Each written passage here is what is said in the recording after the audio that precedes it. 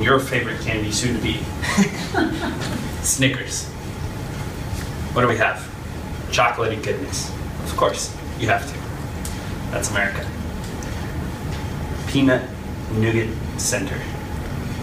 Protein, energy, fluffy goodness. Not only will you feel satiated, but you're gonna enjoy what you eat, right? I can eat sawdust all day long, be full, or as I like to call it, lettuce.